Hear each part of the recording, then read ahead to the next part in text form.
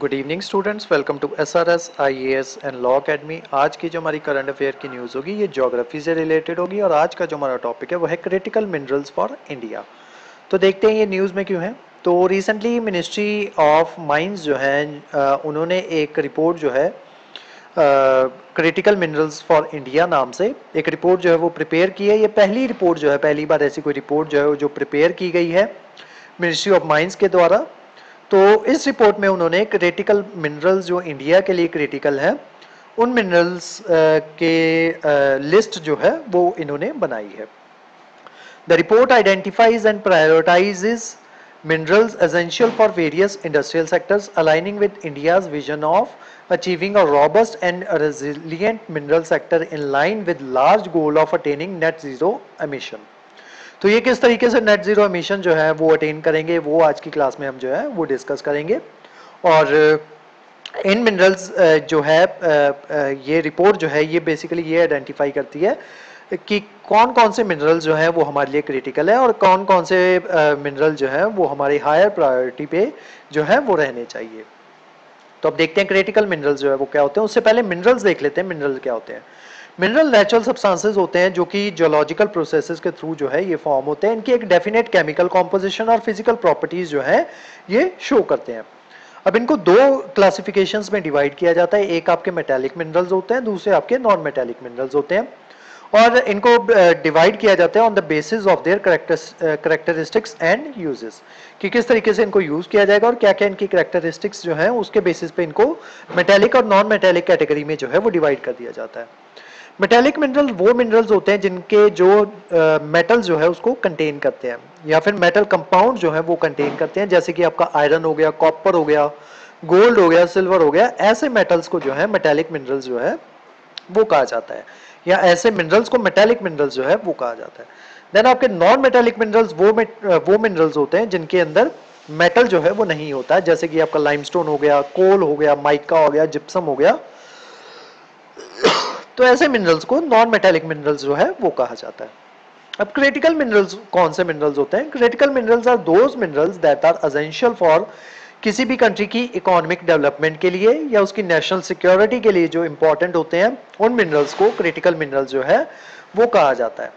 और अगर वो किसी आ, आ, आ, उनकी अवेलेबिलिटी में जो है वो कमी आ जाए या फिर उनकी कंसंट्रेशन जो है वो किसी एक पर्टिकुलर जगह पे ही कंसंट्रेटेड हो तो उस वजह से क्या हो जाता है फ्यू लोकेशन पे ही वो जो है कंसंट्रेटेड हो।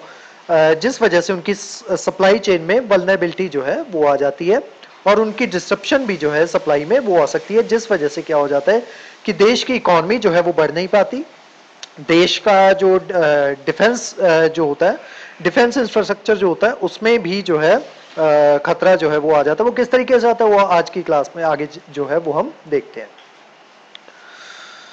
तो डिक्लेरेशन ऑफ़ ये जो क्रिटिकल मिनरल्स जो है, इसके बारे में देखते हैं। It is a dynamic process and it can evolve over time as a new technologies market dynamic and geopolitical consideration emerge अलग अलग कंट्रीज़ जो है, वो अपने अकॉर्डिंग जो है, अपनी अपनी लिस्ट जो है, वो तैयार करती हैं और अपने अकॉर्डिंग अपने क्रिटिकल मिनरल्स जो है, उनको डिक्लेयर करती हैं। जैसे यूएस जो है, उसने 50 मिनरल्स को जो है क्रिटिकल जो है क्रिटिकल मिनरल वो डिक्लेयर किया हुआ है। जापान जो है, उसने 31 मिनरल्स को जो है क्रिटिकल अपनी इकोनॉमी के लिए क्रिटिकल जो है वो डिक्लेयर किया हुआ है।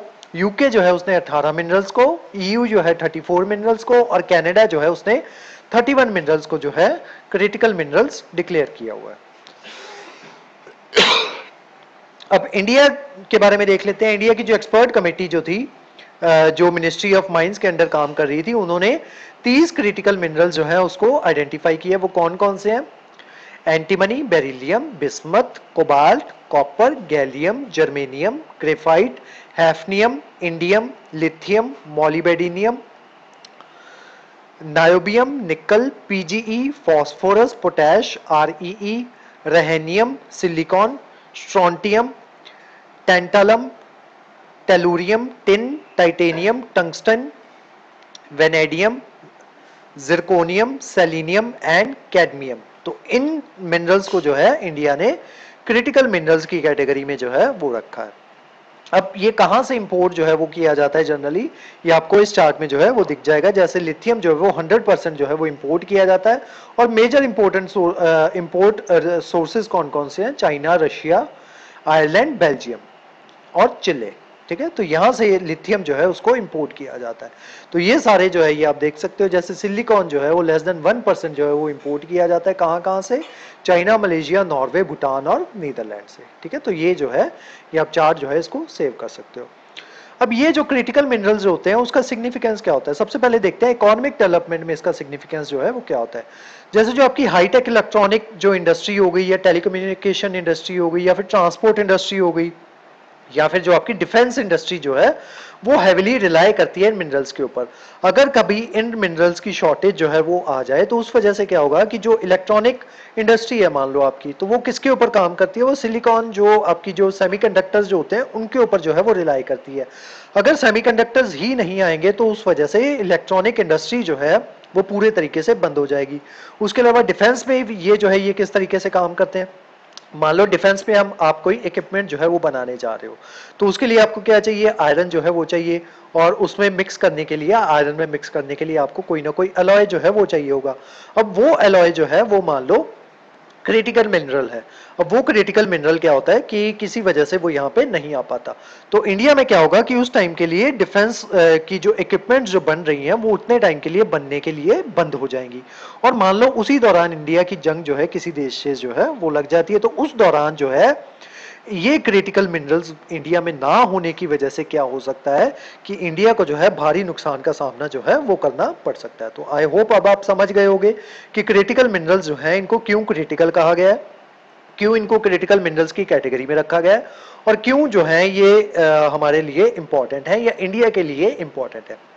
आगे देखते हैं। Additionally critical minerals are essential for green technologies like solar panels wind turbines batteries and electrical vehicles तो उनके लिए भी जो है, ये क्रिटिकल मिनरल्स जो हैं, वो ज़रूरी हैं, ठीक है? ग्रीन टेक्नोलॉजी के लिए अगर आप सोलर पैनल बनाना चाहते हो तो उसके लिए आपके पास सोलर सोलर पैनल भी तो होने चाहिए। अब सोलर पैनल किसके ऊपर बनेंगे? वो भी सेमीकंडक्टर्स के ऊपर बनेंगे, ठीक है?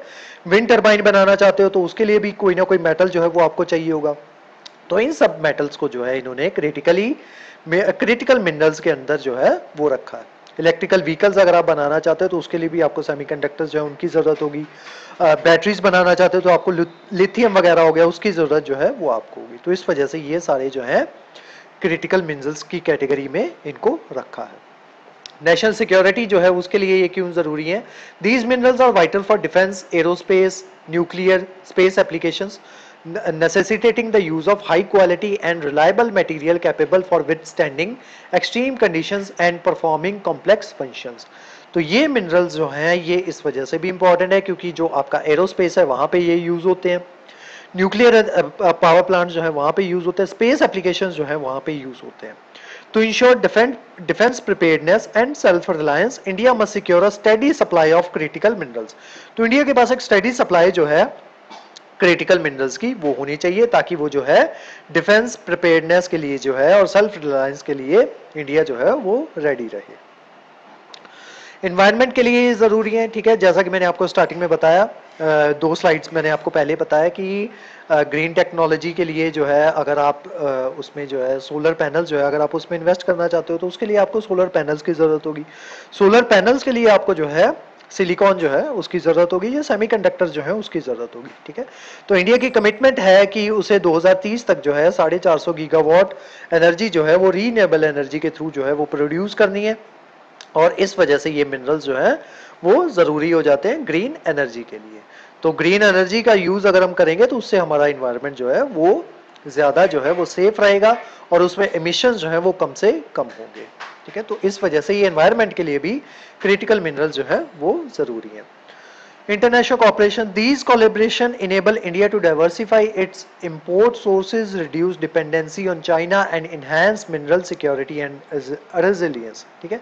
तो अभी करंटली जैसा कि जो आपने लिस्ट जो मैंने आपको दिखाई थी तो वहाँ पे आप देखोगे कि ज़्यादा चीज़ें जो है उसके लिए हम चाइना के ऊपर जो है वो डिपेंडेंट है। तो अगर हमें जो है इंटरनेशनल कॉपरेशन की तरफ़ अगर हम ध्यान देते हैं तो हम दूसरी कंट्रीज़ से जो है क्रिटिकल मिनरल जो है उनको इम्पोर्ट करवा सकते हैं और हमारे उनसे रिलेशन जो है वो और ज़्यादा अच्छे होंगे क्योंकि हमारा उनसे बिज़नेस जो है वो बढ़ेगा और हमारी उससे डिपेंडेंसी जो है चाइना के ऊपर वो डिक्रीज होगी। तो आज की जो हमारी क्लास थी वो क्रिटिकल मिनरल्स के बारे में थी। इस क्लास के जो नोट्स हैं वो आपको सेंड कर दिए जाएँगे हमारे टेलीग्राम चैनल पे और जो हमारे वेरियस व्हाट्सएप ग्रुप्स जो हैं, वहाँ पे भी इसके नोट्स जो है वो आपको सर्कुलेट कर दिए जाएँगे। उसके अलावा हमारे वेरियस कोर्सेज के बारे में इन्फॉर्मेशन लेने के लिए आप हमारे स्क्रीन पे दिए नंबर पर कॉन्टैक्ट कर सकते हो। तो आज की जो हमारी क्लास थी वो यहीं तक थी। Thank you so much